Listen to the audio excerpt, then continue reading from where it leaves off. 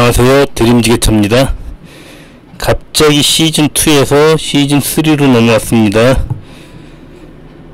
이제 시즌3부터는 100% 아니 100%는 없고요. 90% 정도 오로지 지게차 입장에서 그 안전에 대해서 설명을 하도록 하겠습니다. 그 현장 상황과 지게차를 조정하는 입장에서 느끼는 안전 그것을 적나라하게 설명드리도록 하겠습니다. 사실 우리 영업용지게차와 다른 사람들과의 시각 차이는 굉장히 크죠. 저희는 초심 때는 오히려 불안전 요소가 있어도 그냥 작업을 합니다. 그러나 이제 지게차를 오래 할수록 그 위험이 많이 보이고 있죠. 자, 이제 첫 번째 시즌 3 첫 번째입니다. 이제 행주산성 주차장인데 이 차를 하러 왔습니다. 근데 사실 그 이동식 그 화장실은 굉장히 무거워요. 지금 처음 빈통이죠. 현재 이 상황은 빈통인데 빈통 같은 경우도 워낙 무거워갖고 일반적으로 7톤 작업이 가장 안정하게 할수 있는 작업이죠. 근데 이제 이곳은 뭐 화장실이라 그래갖고 뭔지 모르고 제가 왔는데 일단 작업 여건이 나쁘진 않습니다. 평평한 바닥이기 때문에 제가 작업을 해보도록 하겠습니다. 그리고 제가 뭐 가능할 수도 있겠네요. 일단은 찔러보도록 하겠습니다. 그러면 굉장히 조심스럽죠? 새 물건입니다, 이거는. 자, 이제 정확하게 놓을 위치에 놓고선 지게차 발을 넣고 있는데, 일단 이 발을 넣기 전에 제가 밑에를 살펴봤어요. 밑에는 하부는 단단한졌던지. 어쨌거나 지금 하차를 하고 있는데 발을 최대한 깊이 넣습니다. 그러나 일반 컨테이너처럼 바짝 붙이지는 못해요.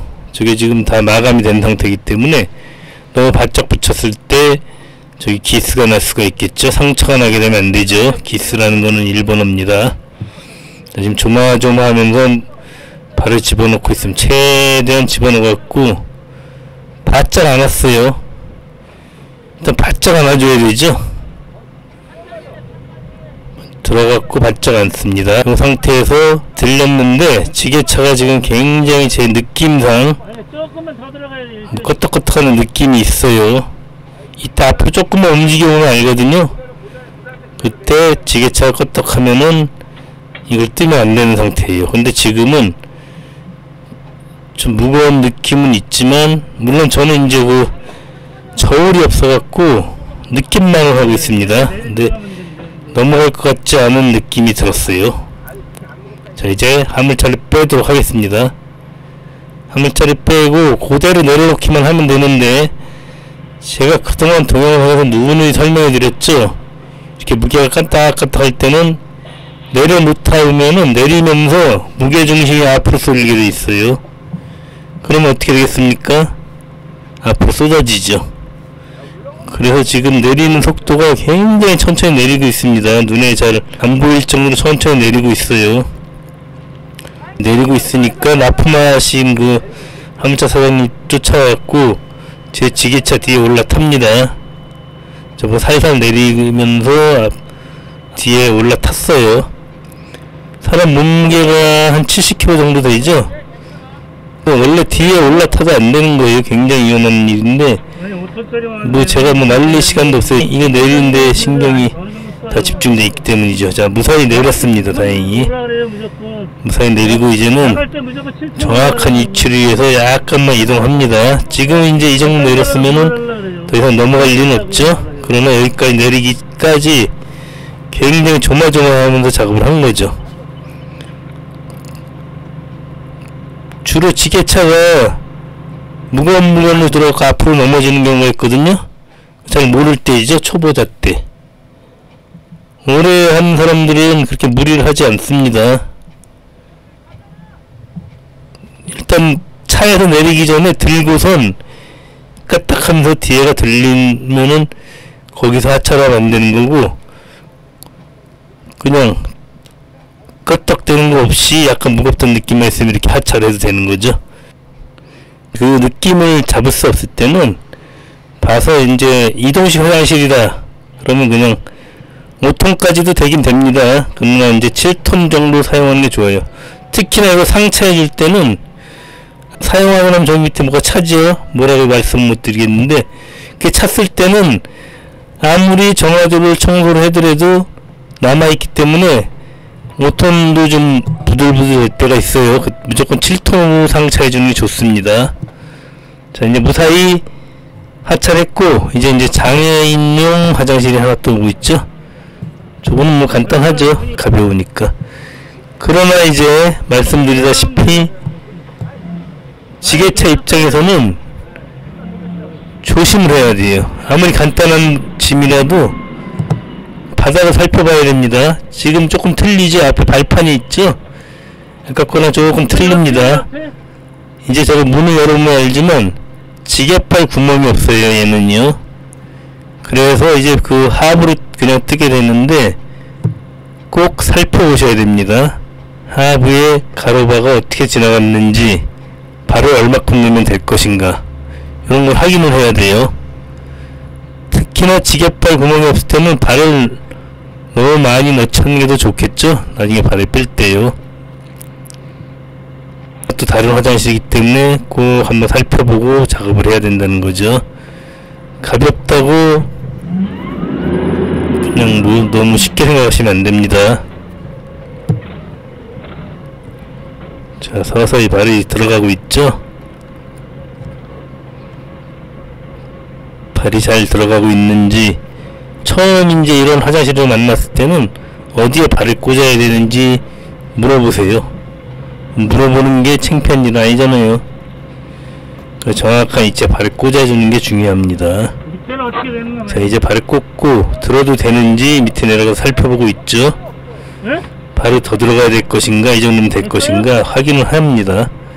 이거는 이제 아까에 비해서는 무게가 많이 가볍죠? 자 그래서 이제 이거는 발을 좀 덜 집어넣고 하차를 하고 있습니다.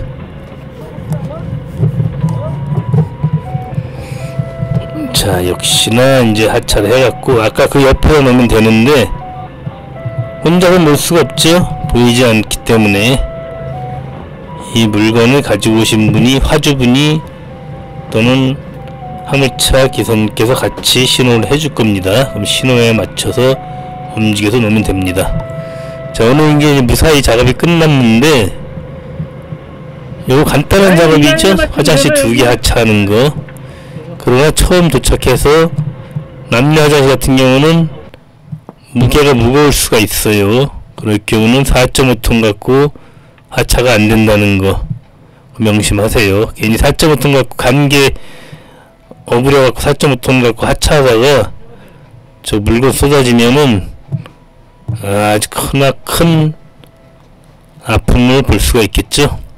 대, 대부분 이제 5톤 이상이 가져야 돼요. 하차할 때도요.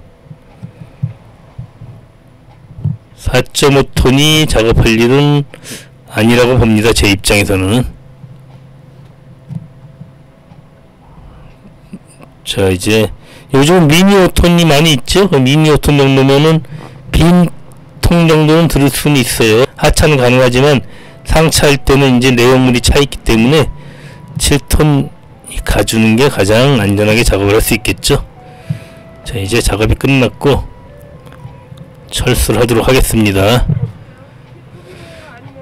요거 간단한 일이죠 아주요. 그러나 지게차에게는 언제나 위험이 도사리고 있다는 거. 불로 끊을게요. 이 지게차는. 운전석에 앉아서 시동을 거는 순간부터는 모든 위험에 노출됐다고 보시면 돼요.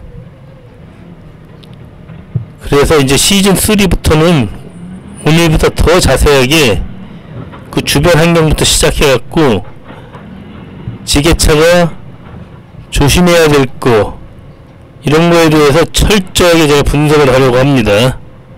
저도 이제 제 동영상을 보면서 분석을 하기 때문에 그리고 또 제 말이 100% 맞다고 볼 수는 없어요. 제 경험과 제 느낌과 제 생각이 뿐이죠. 어쨌든 이제 앞으로 제 채널에 와서 영상을 구독하시는 분들은 안전에 대해서 굉장히 많이 얘기를 들을 거예요. 정말 이 채널 주인이 너무너무 안전 안전 얘기하다 보니까 저렇게 안전만 따지다 언제 일을 하지? 그럴 수도 있어요. 그러나 저는 안전을 포기할 수 없습니다. 그 어떤 일을 가더라도 안전하지 않으면은 그 대책이 세워지지 않으면은 저는 일을 하지 않습니다. 정말 지금 당장 돈을 버는 게 중요하지만 우리 영업용 지게차는 영업용 지게차가 뭔가요? 돈을 벌기 위한 지게차인데 당장 눈앞에 돈 때문에 커다란 위험을 무시하고 작업을 하면 안 된다는 얘기죠. 어쨌거나 이제 시즌 3 시작됐습니다. 시즌 3부터는 조금 더 열심히 동영상을 편집해서 올리도록 하겠습니다. 그리고 더더욱 안전에 대해서 강조를 가면서 영상 편집을 하도록 하겠습니다. 자, 오늘도 안전운전 하세요. 감사합니다.